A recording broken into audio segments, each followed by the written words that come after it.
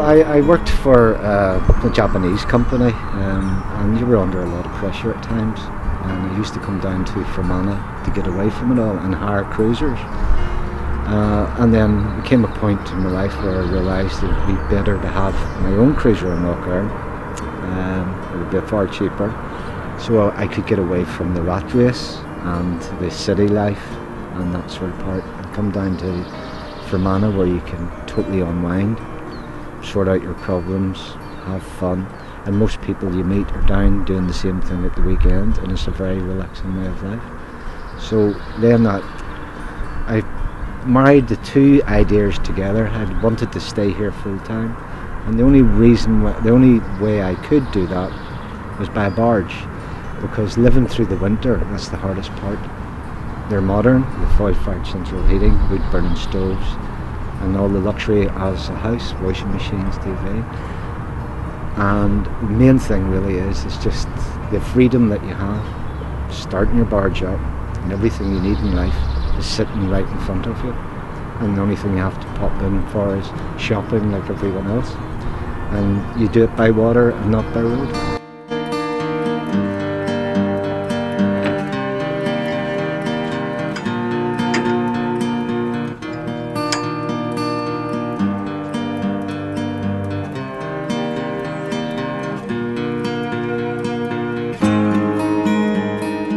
It's a bit like the Lake District, um, and it has a beauty. And Fermanagh has a beauty that's nowhere else in Europe, um, and it's on our doorstep. And a lot of people don't really realise that. You just have to open your eyes, and it is.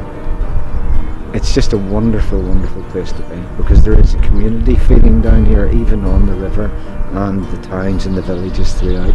People personally get to know you, and that's one thing that I missed about life and makes life a lot easier.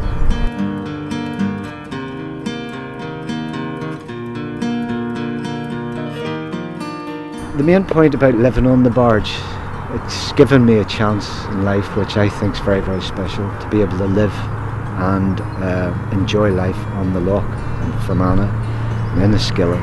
That's the, the main thing about the barge. It gives me the chance and the opportunity to live here and move around and meet different people different walks of life. It's very, very interesting. I've been on Lough Erne now for four winters now, and uh, I'll never go back to that, that race, or should I let it go?